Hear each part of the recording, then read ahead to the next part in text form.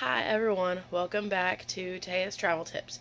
So today I'm going to be talking about what you can cook in a hotel room that does not have a stove. So most of the hotel rooms have a microwave and a refrigerator now. Most of them. Um, the only ones that have a stove and a bigger refrigerator are normally the extended stay ones, which you don't get as many amenities. Sometimes their price can be more uh, for short stays, and you just lose out on some of the things that you get a hotel for, like them to come in every day and do a little quick vacuum, or you know, you go, uh, they bring towels for you, and you don't have to deal with that, or they take the trash out. Anyway, so uh, at normal hotels like Spring Hill Suites, um, La Quinta, um, God, they're all leaving my mind now. Mo Motel 6, um, any of the regular hotels. Some of them you can have six people in. I've had six in a Spring Hill Suites, so that's good for a larger family. But specifically today, we're going to be talking about microwavable meals. So, number one, be prepared. You might have to cook a little at home to be able to save some money while you're while you're on vacation or while you're traveling. Something you can do is microwave baked potatoes. Poke them with a couple of holes. You're going to have to buy the butter and all that, whatever you would like in there. Um, if you want meat, you can also get the microwavable tubs of barbecue sauce or barbecue uh, meat. That's something that's easily microwavable. Now, um, I've seen some noodle package packets, packages, whatever, that are microwavable. They come um, from like Bertolli or something like that, and they're microwave them for a couple of minutes, and you just put sauce over them, which is really good for kids because my little kids love pasta. So warm up some noodles, throw on a little thing of sauce.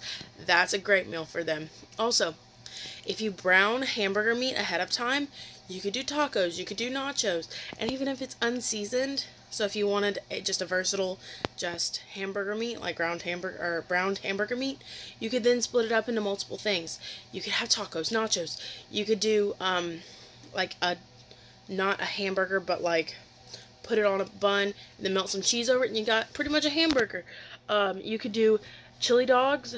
You could do um, those microwavable mac and cheese cups. Kids love hot pockets.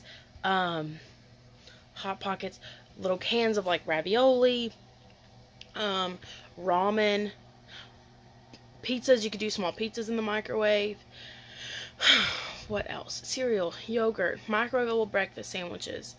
Um, I'm trying to think of all the other ones that I had bloating through my brain. You could do like a sausage and peppers. The sausage just needs to be warmed up. If you cut it ahead of time, that'll save you a step at the hotel. One less thing to pack. Um, if you sauteed some onions and bell peppers you could throw with that. You could do, they have microwavable fajita meat. You could do something like that. So the hardest thing is going to be staying away from just bulk, large, raw meats. Like you're not going to be able to cook a steak. Um, Tupperware does have a container. I'm not, I don't, I don't do Tupperware, but um, my mom did it a while back. Um, but if you get Tupperware, sometimes they give you things um, like if you sign up.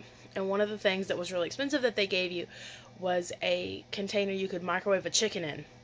Now, I haven't used that. I used, I've seen it at a Tupperware party, but that's about it. But that's something you can also use. Um, you could do pizzas. You could do like build it yourself pizzas on a tortilla with like some sauce and some cheese and whatever um, cooked toppings you wanted, like uh, pepperoni's good to be eaten at any temperature. Uh, so, like the little ground sausage crumbles are good, but just steer clear of anything like a bell pepper. A bell pepper is not going to cook in the microwave long enough. Um, what else? Also, don't be afraid to get one thing from somewhere. Like if you have a barbecue place nearby, you could go get barbecue, like just the meat, and then you could do sides with you. They have microwavable packets for rice that you just microwave the whole packet.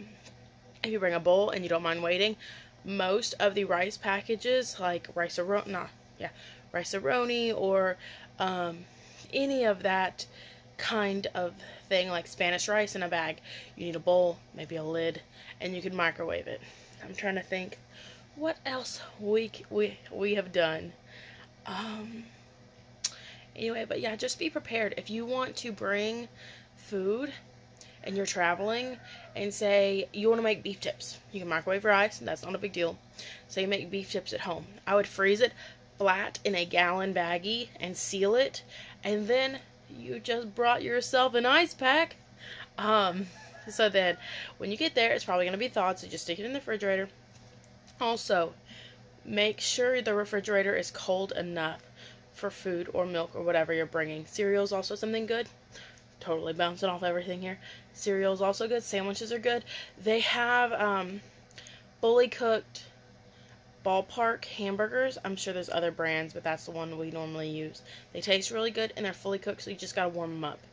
There's also hamburgers in the frozen section. Sam's carries. Um, Costco probably carries them in a big box. You probably get like 10 for 15 or 16 dollars. Uh, maybe maybe 17 for some of them. Anyway, but then your sandwich is good to go. Um, I know Sam's are really good. They um, the burger one is just plain like just a burger, but the chicken one tastes like Chick Fil A um, chicken sandwiches. Um, don't forget to make a list of the condiments or sides or anything that you normally have at home that you might not have at your hotel. You're gonna have to bring salt and pepper, especially if you don't stay at an extended stay hotel. So if you stay at just like a Marriott or like the Spring Hill Suites, that's the one we went to last time. Um, or what we're going to soon. I'll have a video of it up uh, when we go. It's going to be in a couple weeks. But uh, we're going to Kalahari, and they're going to... This is why I'm thinking about all this stuff, is because we are going there to Kalahari in Round Rock. I'm so excited. Anyway, um, so just things like that. Um, bring snacks for your kids. Your kids especially if it's not something you normally have at home. Like if you, if they never have the Easy Mac, get them the little Easy Macs. You're saving money, and they get something they don't they don't normally get. Um, anyway, always for us, for me, I always overpack. I'm always an overpacker. So if you bring something, be prepared to take it home. Make sure you have a good cooler. This is when you invest in a good cooler. So if you're going for a week, your week's worth of food is not going to fit inside that little dorm style refrigerator. Um, so you're going to need a cooler. Or you're going to need multiple trips to the store and you don't have the option of being prepped on some things. Um, something, please do not do this. If your hotel room says no cooking, that means no extra appliances. That means do not bring your Instapot. That means do not bring your crock pot. That is something that they frown upon. Because I see people like, oh, I'll just bring my Instapot. If the if the room is not set up to be cooked in, if it does not have like a stove or something, they don't like that. I'm not saying you couldn't get away with it. I'm not saying that it hasn't been done, but I was going to Kalahari and in a couple months I'm planning on going to Great Wolf. Um, and they specifically say no cooking. So I wouldn't bring anything smelly because they might charge you to get that smell out of there. Someone else is going to have to rent this room. So um, I would steer clear of the like super heavy smells like um, something Indian or anything like that. Be careful. And if you have a question, call the hotel, not the 1 800 number. Call the actual place that you're going and be like, hey, I was wanting to cook something in a crock pot. I was wanting to bring my Instapot. Some might not have a problem with it, but I know Great Wolf specifically says no cooking. No cooking. We're still gonna cook, not like cook with appliances. We're gonna microwave some stuff.